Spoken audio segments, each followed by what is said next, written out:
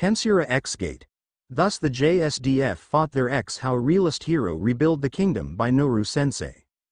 Chapter 8. Memories and Return Shizu Izawa Pav. Hi, everyone. I'm Izawa Shizu. I've come back for the Obon Festival. I then took a walk around to see what is Slime San doing. As I walked around to the village, waiting this can't be called a village but a town I wondered. I wonder how Slime San is doing. I decided to visit because I was wondering about that, but that tiny town is a bustling city of so many monsters now. I thought to myself as I passed on an unsuspecting orc talking to his friend. I've heard rumors that Slime San is living in a form resembling my own. It's a bit embarrassing. Yuawa. I heard a voice. Then when I looked to see, there was a girl running wearing a bunny suit. W8. I is that S Slime San? Huff huff why is it always clothes like these? Slime San said in embarrassment. It looks so nice on you, Rimuru-sama. A girl said with pink hair who is holding a maid outfit. H huh? I said subconsciously and I felt really red right now out of embarrassment. We still have more. A woman said with purple hair, holding a school swimsuit with the name, Rimuru, onto it. Please, no, Slime San said as he runs while being looked at by the bystanders. H how embarrassing Slime San. 2 think a look around more, why yes that must be. Then I left the town out of embarrassment. In the next day I came to check on the trio. That is Kaval, Uren, and Guido. I remember when Kaval poked a nest. So we decided to run as fast as possible. Why do you have to poke at its nest? Uren shouted as we run as fast as we can. We're going to die. Guido then said out loud. I couldn't help it, I was curious, Kaval reasoned. I finally had enough so I told them, enough chatter, just run while looking at them and running. While I remember those moments, I went to the kingdom of Blumen to find the trio. Just a few seconds later I found them at a cafe. It looks like they're talking to each other. I can see Uren was looking at a certain direction. Guido who was drinking his tea noticed it and asked Uren. What's the matter? I'm not sure. I dreamed about Shizu-san for the first time in a while, she replied. Oh, I did too. Kaval then said, so did I, Guido commented. We should visit her grave. Except I guess she doesn't have one. It was the leader of the monster city that laid her rest. I wonder how Rimuru-san's doing, Kaval said. We should, at least, say a prayer while we're here, Uren said as she looks at the church nearby. Then they went near the church and prayed for a bit. Shizu-san, we're doing just fine as adventurers, Uren said. We're dirt poor, but we're having fun, Guido followed. Please continue to watch over us. Kaval then finished. I wish they can see me again. I waved my hand and said to them. Of course. Good luck. Then they started to walk towards to the direction of Jura Forest. So, what was Shizu-san like in your dream? Kaval asked Uren about what she dreamed about me. Actually, she was in the form of a bunny being chased by monsters. Uren said with a smile on her face. Eh, h huh, I reacted surprised from what Uren just said. W wait. I think you got that wrong. Oh, yeah, that look suited her, Kaval said. Wait, wait. Something's wrong here, I said out of embarrassment but they didn't hear it. She was into that kind of thing.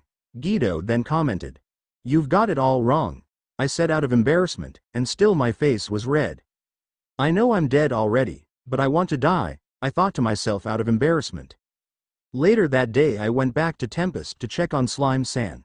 He was smiling. It's so nice to see that he is smiling. I just stood there while smiling at the scene where Slime San is happy. I wish I lived to see it myself and feel it with Slime San though. But for me, it's already more than enough to see him like this. I thought to myself as I left Tempest again to check other spot. Well I can only be here few hours more so I explored a bit more.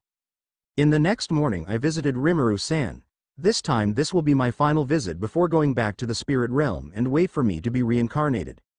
I walked towards where Slime San is then, I heard him saying. Sorry, Shizu-san. I had so much to do, I ran late. It's not incense, but I made something similar. Slime San said while looking at the mask I left behind then put something similar like incense then there are smoke on it. It's fine, Slime San. I understand that you were busy, I said while getting near to him. I threw it together in a rush, but it feels like Obon, right? Slime San asks me. I know he is asking me despite knowing that I can't answer his question. Hi, it feels like Obon Slime San. I answered to his question. I know you may not hear my answer Slime San, but it did feels like Obon. The body and skills I inherited from you have been a huge help. I hope I get to thank you someday, but I might not have the strength for that just yet. Sorry. Slime San said as he became silent to pay respect to me. I then decided to hug him and said, Don't worry. As long as you're living a fun life in my form, that's enough. I thought my life was over, but you have me a wonderful gift I could have expected. I said to him sincerely. But I really wish I stayed alive to see it and experience it more thought. It's a shame that I left you so early, but having you see you won't be lost in direction and be happy, it would be fine for me. Then I remembered something to tell for Slime San. But, Go easy on the embarrassing outfits if you can, okay? I requested to him. Tell that to those two. Those were the last words I heard before being back to the spiritual realm. Did Slime San perhaps heard me? I thought to myself but then disregarded it because that would be impossible. Kagali POV. Hello everyone, you probably know who I am here, so no need to intro no never mind. I'm known right now as Kagali. You also know me before as Kazalim, one of the old demon lords that Leon had beaten up. If you think I'm a male, no you're wrong. I was actually a princess before. It's shameful that I forgot my name at that time. But at the same time I can't forget a certain someone did to me. It was centuries ago when I was still a princess of the once I called home. The nation's name was Ultra Sorcery Kingdom of Elves. Which at the time was one of the most prosperous kingdoms in the world. I was very close to my father, but that changed when he suddenly began to treat me like I'm not his beloved daughter, and that I didn't exist. I was heartbroken by it, since then I began to suffer. I suffered a great deal of misfortune due to my father the king. Later on I was stripped out of my own power and later on being experimented by him. Then after those suffering days, I finally died.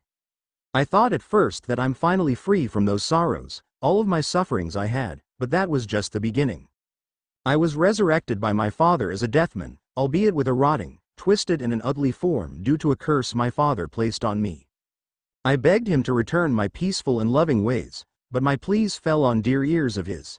In my fit of rage I lashed out and used my power of curse. That changed me into a man and renamed me as Kazalim. I'm ashamed of my once beautiful face was now gone forever all because of him. So I was forced to wear a mask to hide my ugly face and robes to hide my scarred body. Then I started to be referred as my new name, Kazalim. Eventually, my homeland would spell its own destruction by foolish acts of my father, who angered Milim Nava, the daughter of Star King Dragon Veldanava Sama. Resulting in our nation being completely obliterated as the capital of our elven empire was reduced to nothing by a bright beam of pure destruction. I was one of the few remaining elves who survived the disaster.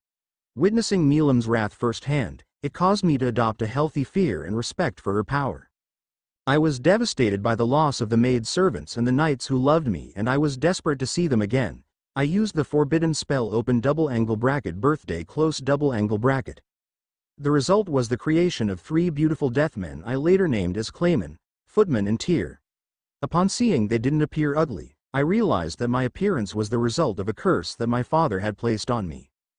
These individuals were specifically engineered in order to give them unique traits, where Clayman was engineered to specifically become a demon lord while Footman and Teare had formidable combat prowess to make them a match against a demon lord. In order to never forget the humiliation of the past, I fell prey to the forbidden art.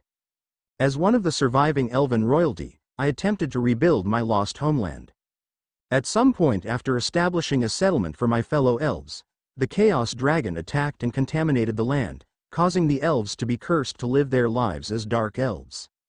By using the knowledge and technology I preserved from the original fallen elven nation, now known as the Great Ruin, Soma, I managed to expand on and recreate many of its lost technologies, resulting in the creation of the capital city, Amrita, of the puppet nation Jistav. I later traveled back to the ruins of my former country to retrieve our treasures.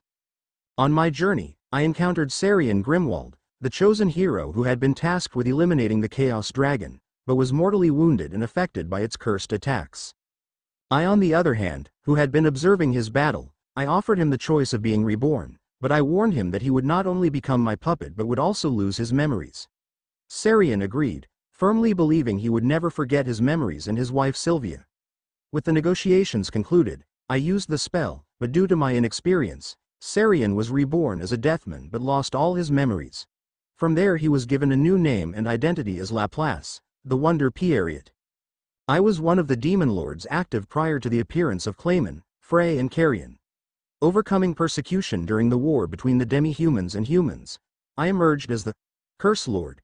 Kazalim. I quickly built up a fearsome reputation as a cunning schemer due to my uncanny ability to gather information. During my time as one of the Demon Lords, I was known to have battled against Roy Valentine, who I have noted to have power equivalent to my own. Our battle was destructive enough that all the surrounding territories around them were destroyed, resulting in the passing of a certain custom, which has seen whereby all disputes between demon lords are decided via a majority vote. However, despite having fought him, it was shown that I was oblivious to Demon Lord Valentine's true position as a servant to the actual Demon Lord Luminus Valentine, holding his council seat. I, alongside Milim, would also advocate the claim of Carrion as a demon lord and would also back up Frey and Clayman's claims in order to allow them into the council in order to obtain further political pull amongst fellow demon lords. Eventually, I would come across and hear about Leon Cromwell, who had declared himself a demon lord. As no one stepped up to support his claim, he was deemed a self-proclaimed demon lord, causing me to step in to eliminate Leon for daring to call himself a demon lord, leading to the two of us fighting each other. In actuality, however, I wanted to gain more power and decided to recruit Leon, as what I did with Carrion and Frey, hoping to teach Leon a lesson in humility. However, upon reaching his territory and seeing his beautiful face, I was enraged and jealous, reminded me of my lost beauty, and I attacked him. I lost the fight and my body was destroyed. However, I had successfully survived their encounter and for over a hundred years, I wandered around as a disembodied spirit, with my consciousness and mind slowly dissipating due to lack of a body. It was only until 10 years prior to Rimuru-sama's reincarnation that I successfully possessed and shared the body with an otherworlder, Yuki Kagurazaka, and from there I acquired the female elf homunculus body. Grateful for Yuki's help, despite originally having tried to snatch his body, I began working closely together with him to reach their shared goals, and took on the identity of Kagali, Yuki's secretary. I was blinded by my revenge to Leon Cromwell, that I soon died being killed by him again. Now, I'm here in Rimuru-sama's void for some reason. I realized that I was under mind control by Michael. I was frustrated that I didn't realize it myself. Despite us being former enemies, Rimuru-sama still showed me some kindness and salvation. I may be right now in her void. Rimuru-sama would have erased my existence completely. Now I will wait for her to resurrect me and I'll devote my life for her sake. Rimuru, original, Pav. It was already 79 years since Shizu-san's death. We just came back from Falmart continent. We were welcomed by the whole citizen and we were overwhelmed. I left the party earlier for me to take a rest. I at first hesitated to either resurrect Shizu-san or not, but I have decided to resurrect her. If Shizu-san is disappointed about her being here again, I'll try to convince her and show that I've already achieved peace. I then left my bedroom to go at the room I reserved for Shizu-san. As I entered the room, I ordered Diablo via thought communication to not let anyone even Shuna, Chloe, my siblings and the rest of the executives to go near the hallway going to Shizu-san's room. Greater than Ciel, are the preparations ready? Less than I asked her. Less than yes master, all preparations are complete. You may start to resurrect the individual Shizu Izawa. Greater than she replied. I nodded and I started the preparations. Voice of the world, in my name Rimuru Tempest. I order you to resurrect Shizu Izawa. I ordered the open double angle bracket voice of the world close double angle bracket. Orders received from our true deity and creator Rimuru Tempest Sama. Resurrection of the individual, Shizu Izawa, beginning. Successful. Preparing her original body. Successful. As the voice of the world finished resurrecting Shizu-san, Ciel requested her. Less than voice of the world, in the name of goddess of wisdom and knowledge, Manas. Ciel. I request you to reconstruct the individual, Shizu Izawa's body into divine human and grant her the ultimate skills. Wisdom Lord Raphael close hollow corner bracket, Goddess of the Sun, Amaterasu close hollow corner bracket, Goddess Love, Rimuru Tempest close hollow corner bracket, Goddess of Fate and Destiny Fortuna close hollow corner bracket. Goddess of All Flames Cthulhu close hollow corner bracket. Akashic Book of Records, greater than. Request by Goddess of Wisdom and Knowledge Manas. Ciel Sama, accepted. Giving her the following ultimate skills. Successful. Giving the individual, Shizu Izawa, all resistances. Successful. Said by Voice of the World. As the bright golden light shines down, I can see Shizu-san laying down on the bed with her eyes still closed. Shizu Izawa Pav. As I was waiting for my turn to be reincarnated, a sudden voice can be heard. Voice of the world, in my name Rimuru Tempest. I order you to resurrect Shizu Izawa. Said in a serious tone. W wait. Is that Slime San's voice? Slime San is trying to revive me, I thought to myself. Then all of a sudden I felt my soul going back into a body. Ah, this nostalgic feeling of having a body again. Then I felt like my body was being reconstructed. I heard everything, from what the voice of the world had said. It looks like I am now a divine human and had the following ultimate skills and all resistance. It was all thanks to Shli no Rimuru-san. I then opened my eyes to see Rimuru-san smiling at me. I subconsciously let go a tear from my eye then she suddenly hugged me. I was at first hesitant to hug her back, but I hugged her as she had her tears also. Welcome back, Shizu-san. Rimuru-san said while sobbing. I'm back, Slime-san. No, Rimuru-san. I said as she hugs me tightly and I just reciprocated her warm hug. I've already achieved it, Shizu-san. I know Rimuru-san, I've already seen it. Thank you for granting my request, I told her warmly. Rimuru-san then looked at me at the eye and she gave a wonderful and beautiful smile, then she said. You're always welcome. Shizu-san. Then suddenly I felt a soft pair of lips onto mine. I then reciprocated it and closed my eyes out of happiness. So this is a kiss feels like. I want more.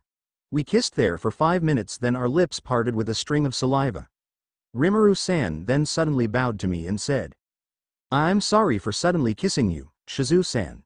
But I can't stop myself, I missed you so much, she said with a tear on her eye. No, it's okay Rimuru-san, I enjoyed the kiss, and as time as I observed you from time to time. I fell in love with you, you have me another reason wanting to live in this world. But sadly I'm already died when I wanted it. Rimuru-san, I've always thought that seeing you happy would be enough for me. But as time goes by, I can't help but also be envious to Chloe. I already know about her being my former teacher. Now I understand her actions. Right now that I'm alive again. I want to be with you forever. I don't care if you already became a female. I love you for who you are. I if it's okay with you I want you to marry me. I said all of those I felt. I have said that I shouldn't have said, Shizu you idiot, I said to myself. Rimuru-san was quiet for a moment, then she had me a smile then suddenly hugged me again, then she said. I love you too Shizu-san. I loved you already 79 years ago. I didn't know at first either to resurrect you or not. I resurrected you with all of my selfishness. I thought you would have been disappointed in me or would hate me. I'm really glad that it's not the case. Rimuru-san almost broke down in tears at the end, then she started to cry. I stroke her hair as I hug her, then I said to her. I would never hate you for that Rimuru-san. You did well holding up your feelings, I would never leave at your side Rimuru-san. I said in a sweet low voice to reassure her. I'll marry you, Shizu-san. It's a yes. But I should have asked that to you, she said in a cute voice. Then we kissed again, this time we didn't stop for two hours. Then after we parted our kiss, we smiled at each other then we hold hands as we left the room. Now I know you have some question, aren't I basically naked all those times? No I was not. Rimuru-san had already prepared my old clothing when my body was made and reconstructed. No perverted thoughts okay. Third Pav. The world doesn't know about Shizu Izawa's return to this world as Rimuru concealed the open double-angle bracket voice of the world close double-angle bracket S announcement to the public. Only selected individuals heard the voice of the world. That being is Shuna, Diablo, Velzard, Velgrynd, Veldora, Testarossa, Carrera, Ultima, and Guy. Later on Rimuru introduced Shizu as her fiancé. All of the citizens cheered in happiness. Those who knows about Shizu cried in happiness. Later on Shizu and Rimuru were questioned by all of the executives. Then after some long Q&A they finally led a banquet to celebrate Tempest's new queen and her return. But little did they know, Rimuru had one more surprise in her sleeve. Kagali POV. I'm currently observing Rimuru-sama from her void when suddenly I heard a voice. Kagali, I order you to come out there, it was a voice from Rimuru-sama. I obliged then I felt my soul going back to a familiar body that I missed so much. I opened my eyes to see I'm in a room. I looked around to see the black primordial now known as Diablo, the white primordial now known as Testarossa, Benimaru-sama and finally Rimuru-sama. I then bowed my head and said, I've come to answer your call Rimuru-sama. Raise your head Kagali. Rimuru-sama ordered. I followed her order then I saw a woman of average height with black eyes and black hair. Her beauty was similar to Rimuru-sama's. This must be Shizu Izawa-sama. What do you need of me, Rimuru-sama? I asked. I'll ask you a question. Are you willing to serve under me? Rimuru-sama asked. I, of course Rimuru-sama. You are kind enough to show me your mercy, I will devote my life serving you. I bowed my head as I said that. Very well, I think you can already tell that your body right now is the original body you had once before you were cursed by Jahil. H. Hi, thank you so much for giving me back this body, I said to her out of respect. Then I will grant you the ultimate skills, Immortal close hollow corner bracket, Loyal Lord Hachiko close hollow corner bracket, and Fortune Lord Agastia close hollow corner bracket. With all resistance as a sign of you becoming my subordinate. Rimuru-sama said in a divine voice. I accept, Rimuru-sama, I said in determination. Then I felt the change in my body. Then after my evolution, I once again bowed my head to my master. Now then, I first cancelled the sleep in your evolution. I shall give you a new name. Rimuru-sama said. W what name shall I be known now Rimuru-sama? I asked. I will grant you the name of Kumiko. Serve me well, Kumiko-chan. Rimuru-sama said as she gave me a smile. Then another change felt on my body. I felt my system being replaced, especially my name from Kagali to Kumiko. Then I felt I need to sleep all of a sudden. Go and take a rest for now. Rimuru-sama ordered. I gave a nod and smile as I lost my consciousness. Rimuru, original, POV. Few days later we got married. It was one of the most happiest moments in my life. Currently I'm enjoying my tea with Shizu-san together with Shuna, Chloe, Hinata, Alice, Ryota, Kenya, Gail and Eren. We talked about so much on WHQT happened. We laughed together. This feels warm. I will make sure we can have this moment forever. I'll protect the smiles of everyone important to me. Now then after this elegant tea time of ours, it's time to make our plan. What plan you ask? The plan of possible war against those major three. Japan is now under our protection, we will only activate this operation and plan when one of them make a move. You may think I'm joking, but I'm serious about my warning. I'll show you a part of my forces can do. I thought to myself as I took a sip of my tea.